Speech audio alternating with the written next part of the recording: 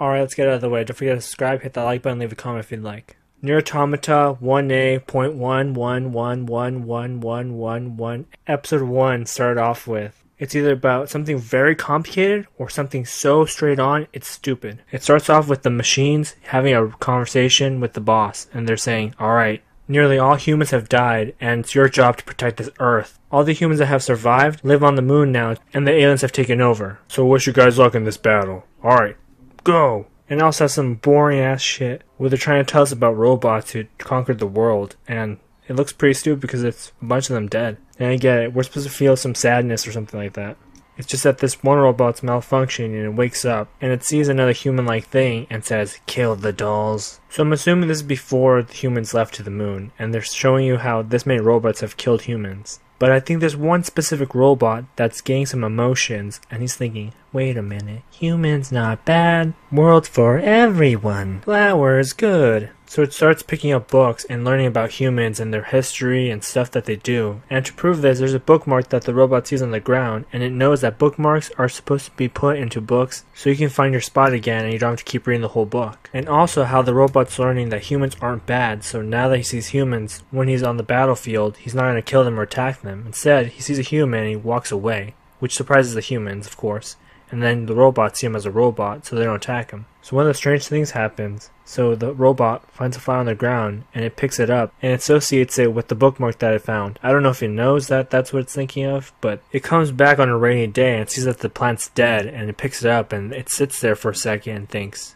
Loading, loading, loading, sad. And of course it starts crying, but I'm not sure how it's crying because there's no water in a robot. But that doesn't stop him because he remembers he saw something in a book or a TV show where they put seeds in the ground and starts growing. So he tries that, and every day comes back to the seeds and keeps checking and checking, raining, sun, snow, everything. And fortunately, it starts growing, but the small robots have been chased by a boar and they're trying to run away and they want his help, but he still stares at the plants. After the boar stops chasing them, they go back to the big robot and they look very mad. But the robots forgive it because they learn how to plant and now they're really happy. So day after day they keep coming back. And now they've become gardeners because it's a whole forest now. And that's the first 10 minutes of the episode. And the other 10 minutes is getting to know the other androids out there. And there's a girl named Lily who's really afraid of fighting because she has to sacrifice herself to fight for the Earth. And she hates how the humans in the moon are really happy and they get to live their lives up there. And they don't even give them a single gun to fight with. But let's be clear, they still have guns there. It's not like they fight with just their fists. Meanwhile, 2B and 9S are just resting, trying to reboot themselves, and once they reboot themselves, they go and they talk to the main boss. And their new mission is to go and investigate for the people that fucked up. And of course, they have no choice because the boss said it, so now they have to go investigate. But it's not a big deal since they're really strong. But even the boss is worried because the place that they're going to go to is very dangerous. And it's not just dangerous, it's really stupid because robots that look really small and they're just yelling, they're going,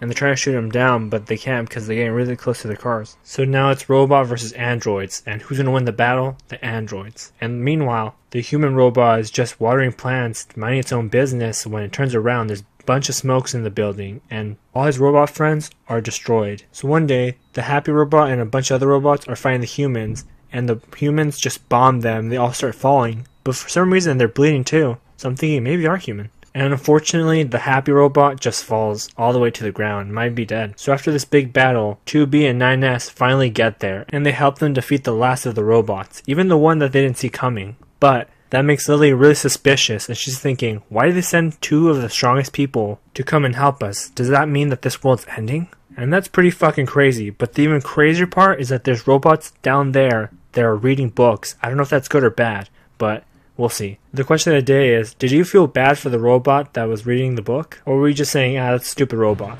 Alright, that's the end of the video. Peace.